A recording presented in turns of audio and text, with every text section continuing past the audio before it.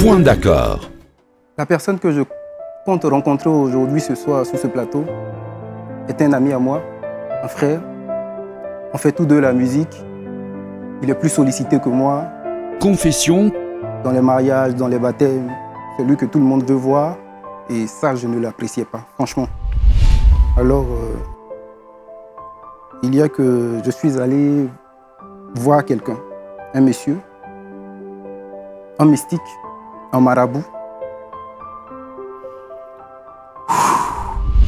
Un soir, lors d'un concert où il devait aller jouer, j'ai pris de l'eau, j'ai ouvert la bouteille, j'ai versé ma potion dedans,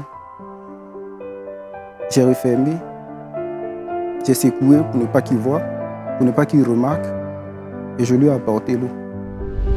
Une fois à l'hôpital, les médecins lui ont dit ses cordes vocaux étaient touchés, sévèrement touchés, au point où il devait carrément arrêter toute activité musicale. Toi C'est de ma faute ils ont annulé toutes tes dates de concert. Toi, t'as fait ça, tu as eu quoi? Je sais qu'est-ce que tu as eu?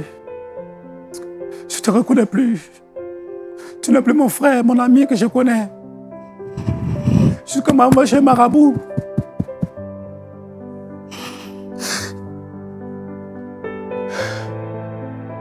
Point d'accord. Votre talk show tous les vendredis soirs pour des révélations très déconcertantes.